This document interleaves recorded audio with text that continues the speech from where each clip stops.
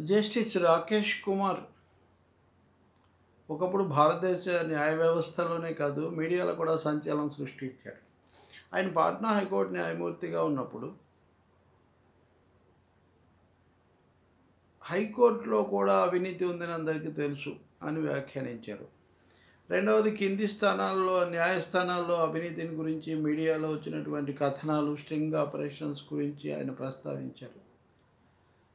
పాట్నా జిల్లా కోర్టులో కేపీ రామయ్య అనే ఒక మాజీ ఐఏఎస్ అధికారి బీహార్ మహాదళిత వికాస్ మండల్ అనే దానికి సంబంధించి కొన్ని కోర్టులు గల్లంతు చేశారు అనేది ఆరోపణ. ఆరోపణలో ఆయన అరెస్ట్ అయ్యారు.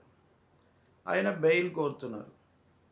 ఆ బెయిల్ పిటిషన్ను హైకోర్టు తోసిపుచ్చింది. హైకోర్టు తోసిపుచ్చిన తర్వాత ఆయన జిల్లా కోర్టులో హాజరయ్యారు. ఇదంతా రెండు వేల పంతొమ్మిది అంటే ఖచ్చితంగా ఒక ఏడాది కింద జరిగింది. రెండు వేల పంతొమ్మిది అక్టోబర్లో. ఆయన జిల్లా పాట్నా జిల్లా కోర్టులో హాజరయ్యారు. ఆయన హాజరయ్యే రోజు విజిలెన్స్కు సంబంధించి ప్రత్యేకంగా ఉండే ప్రత్యేక న్యాయమూర్తి హాజరు కాలేదు. ఆ రోజు కోర్టులో ఉండే న్యాయమూర్తి ముందు ఆయన హాజరు కావడం హాజరైన తర్వాత ఆయన బెయిల్ మీద వదిలేయడం జరిగిపోయింది.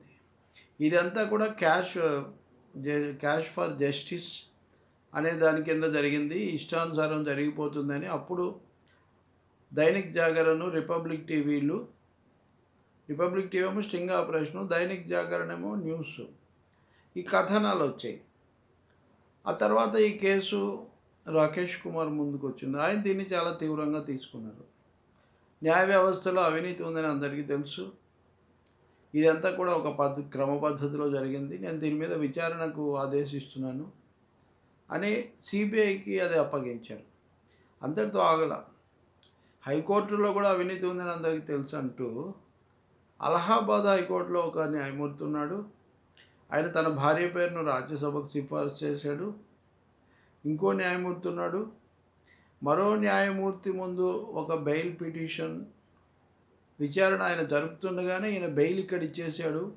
ఇలా తయారైంది న్యాయ వ్యవస్థ అవినీతికి అతీతం కాదని వ్యాఖ్యలన్నీ చేశాడు. ఇంకేముంది? ఆయన ఇవన్నీ ఎక్కడ కోర్టు రూమ్లో చేశాడు. ఇది దేశమంతా సంచలనం కలిగించింది. సుప్రీంకోర్టు కొలిజియం దీని మీద సమావేశమైంది. వెంటనే వాళ్ళు దీని మీద ముందు ఆయన ఇచ్చిన ఉత్తర్వులను ఆపేయండి అని చెప్పారు. ఈ ఈ ఆదేశాలు ఒక విధంగా వ్యక్తిగత దురభిప్రాయంతో కూడినట్టుగా ఉన్నాయి. కొంత ప్రతీకారేచ్ఛ కూడా దీంట్లో కనిపిస్తుంది కాబట్టి వీటిని అమలు చేయొద్దండి అంటూ. న్యాయపరమైన బాధ్యతలు జ్యుడిషియల్ డ్యూటీస్ నుంచి ఆయన కొద్ది రోజులు పక్కన పెట్టారు. పెడితే ఉత్తర్వు ఇచ్చారు అధికారికంగా. ఆ తర్వాత మళ్ళీ పునరుద్ధరించి ఆంధ్రప్రదేశ్ హైకోర్టుకు న్యాయమూర్తిగా బదిలీ చేశారు. నవంబర్ లోపల మీరు చేరండి అని ఆయన వచ్చి చేరారు. అంటే రాకేష్ కుమార్ ఈరోజు చేసిన వ్యాఖ్యలు ప్రభుత్వం మీద అయినప్పటికీ కోర్టుల్లో అవినీతి మీద కూడా ఆయన గతంలో ఇంత తీవ్రమైన వ్యాఖ్యలు చేయడమే కాకుండా సుప్రీంకోర్టు కొలిజియం ద్వారా బదిలీ కాబట్టి ఇక్కడికి వచ్చారన్నది ఆసక్తికరమైన అంశం. దీన్ని అప్పట్లో న్యాయ సంబంధమైనటువంటి పత్రాల్లో మ్యాగజైన్స్లో ఆ వేదికల్లో ఈ చర్చ చాలా ఎక్కువగా జరిగింది. ముక్కుసూటిగా ఉంటారు అనుకున్న చెప్తారు ఇదంతా.